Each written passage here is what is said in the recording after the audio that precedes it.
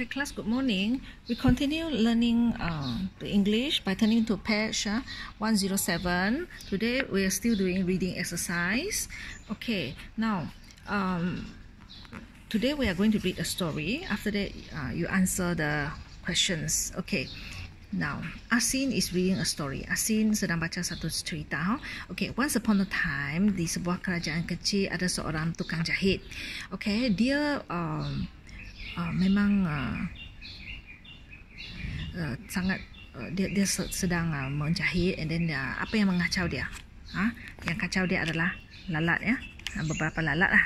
Dia dia sangat yang mengganggu eh lalat itu sangat mengganggu dia. So uh, the tailor lah ya tukang jahit itu pun ambil satu fly sweater sweater ini. Okay benda ini ya. Alright to uh, and then kill lah. Kill seven flies. Uh, sekali. Psst tujuh lalat mati. Wow.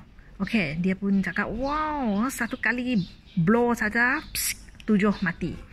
Okay, dia, dia jerit lah dengan begitu bangga. Ha? So, at that very moment, pada waktu itu, ha, ada uh, uh, dua perempuan ya, uh, yang berdiri di luar kedai uh, dengan uh,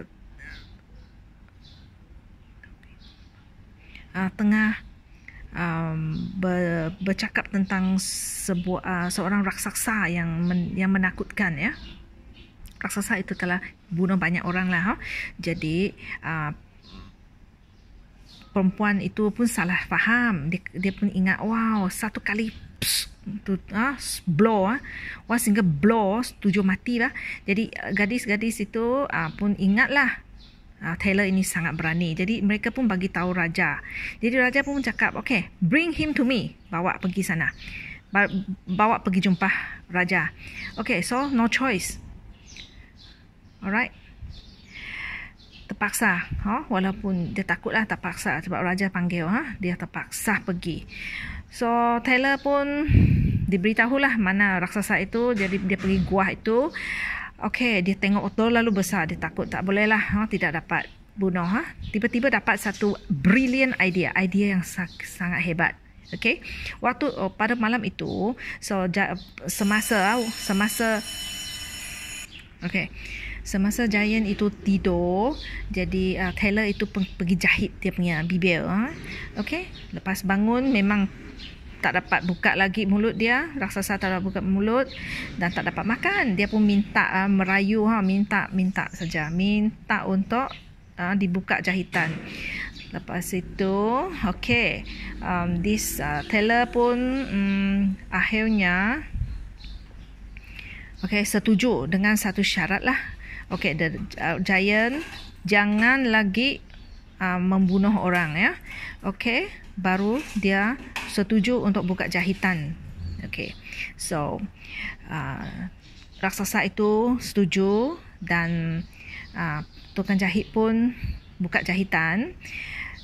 Raksasa akhirnya dengan segera meninggalkan uh, kerajaan itu dan and the tailor tukang jahit menerima uh, ganjaran yang begitu besar a handsome reward daripada king. Everyone live happily ever after. Selepas itu uh, rakyat kerajaan di kerajaan itu hidup dengan bahagia selama-lamanya. Next, take out your exercise book and answer the question. Number one, what was bothering the tailor? Apa yang mengganggu tailor itu? Ah? Rob kah lady kah? Giant kah fly? Very easy. Number two, how many flies? Berapa dia dia bunuh dalam satu kali ya? Ada di atas. Very easy. What did the ladies hear? Okay. The lady sebab did ini here kena tukar kepada heard H E A R D ya.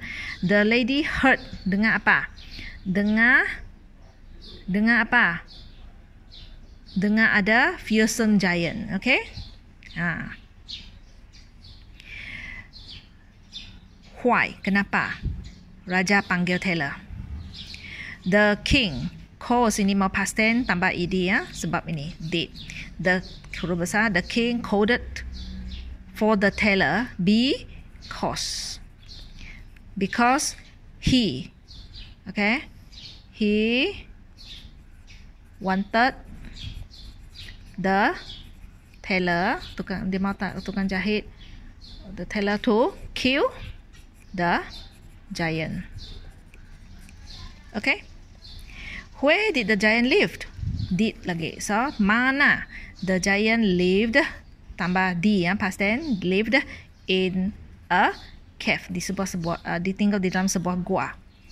Okay. Did the teller obey the king's command? Ada ke tak ada?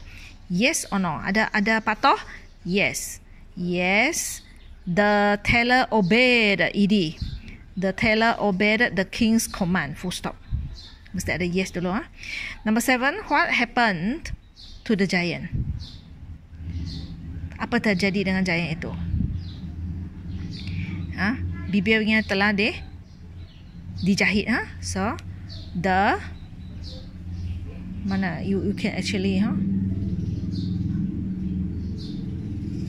his lips ha? bibir-bibirnya bibirnya his lips were were being telah di